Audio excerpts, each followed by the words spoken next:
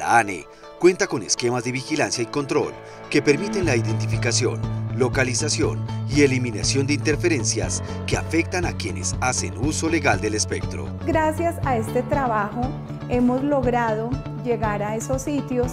donde los eh, diferentes aparatos utilizados por la Agencia Nacional del Espectro han llevado que se está llevando a cabo actividades delictivas enmarcadas dentro del artículo 257 del Código Penal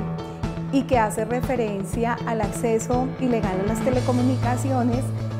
eh, es que hemos logrado llegar a esos sitios, incautar los equipos, bajar las antenas, obtener toda la información relacionada con los presuntos responsables de estas actividades ilegales, la incautación de esos equipos y el desmonte de las antenas. Gracias al trabajo en conjunto que la Agencia Nacional del Espectro viene realizando con la Fiscalía General de la Nación, la SIGIN y el Ejército Nacional,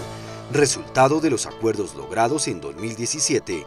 los operativos y acciones contra los clandestinos son mucho más efectivos hoy día. Precisamente a ese trabajo que se ha realizado permitiéndole a la Policía Nacional y a la Fiscalía General de la Nación conocer a través de las actividades desplegadas por los diferentes técnicos e ingenieros que conforman ese grupo de, la Agencia Nacional del Espectro que permiten llevar a las autoridades el conocimiento de dónde se está en ilegalidad. Generalmente los delitos por uso clandestino del espectro son detectados por diferentes canales. En primer lugar, está el ciudadano que se ve afectado por interferencias en radio y televisión. Y finalmente, son los prestadores de servicios que detectan interferencias.